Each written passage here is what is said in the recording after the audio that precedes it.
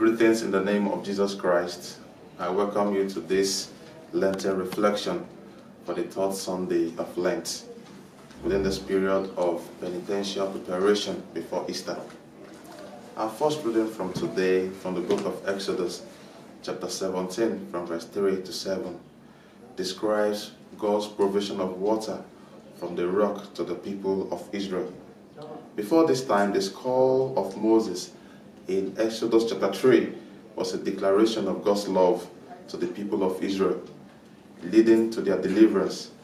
This deliverance, we all know, came to reality, not counting on the strength of the people of Israel, but then on God's power, His almighty power.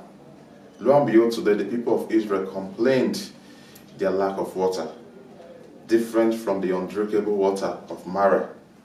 One may question do the people of Israel really have the right to complain? Yes, they do. But then their complaint was an expression of their faithlessness to God.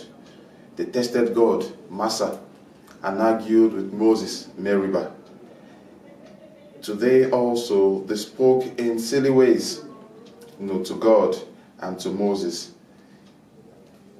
They accused God and Moses of a possible genocide. In turn, they wanted to kill Moses and, if possible, God.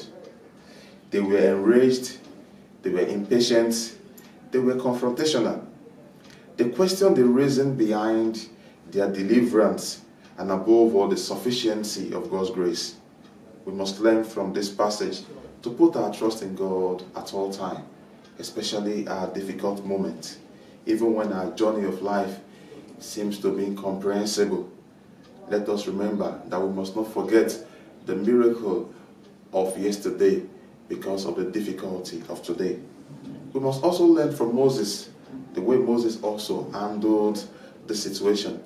Moses didn't respond to the people of Israel with unguarded words, but because two wrongs cannot make a right. And that is also one of the lessons we must learn today in our conflict resolution with our brothers and sisters.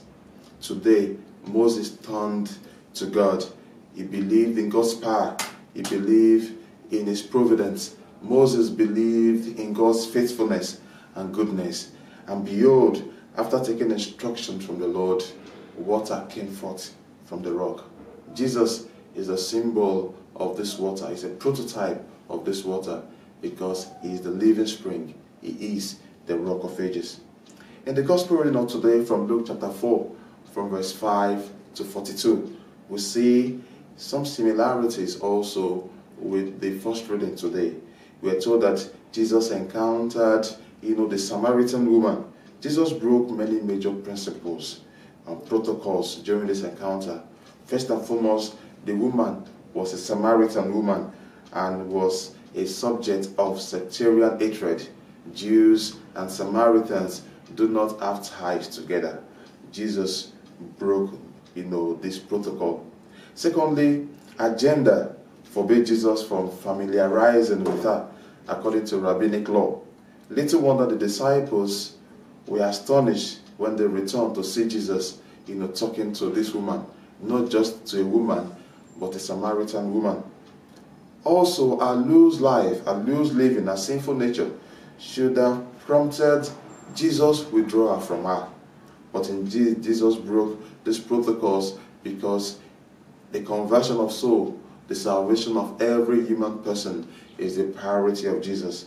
And so this impediment did not, you know, count on God's love for her. Therefore, Jesus established this conversation.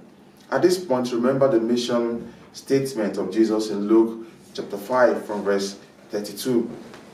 I came not to call the righteous, but sinners to repentance. Furthermore, we must not lose sight of the process of self discovery with regard to this woman, this Samaritan woman. Jesus helped this woman to rediscover her disgusting yet redeemable nature. Therefore, can we also today rediscover our way to the Lord? Our rediscovery is only possible in the presence of God, like this Samaritan woman we rediscover ourselves in God's presence. Brothers and sisters, The Holy Spirit is this living water that quenches our thirst. It refreshes us. It invigorates our body. It purifies us. It makes us fruitful. And above all, make us one with God. The water of Christ is free and inexhaustible. In the prophecy of Isaiah tells us in Isaiah chapter 55, verse 1, he says, Let him who is thirsty come.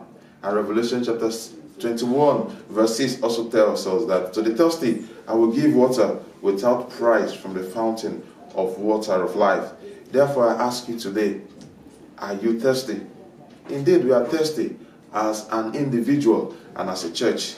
Therefore, let us come to this living spring. Let us come to this fountain of life. The Samaritan woman was convinced of a newfound fountain of life.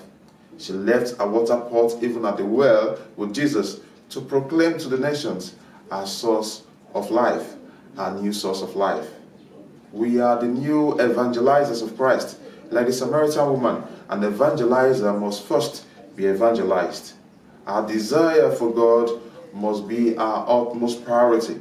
We must turn heavenward at all time to do the will of the Father. That must be our meal. Christians, today I ask you, what are you waiting for? There is great need for zeal and earnestness. Why the procrastination? Let the salvation of your soul and the soul of others be your greatest priority while on this earthly pilgrimage. Therefore, let us heed to the call of the psalmist in Psalm 95, verse 7. Oh, that today you will listen to his voice. Harden not your heart. May the Lord bless his word in our heart through Christ our Lord. Amen.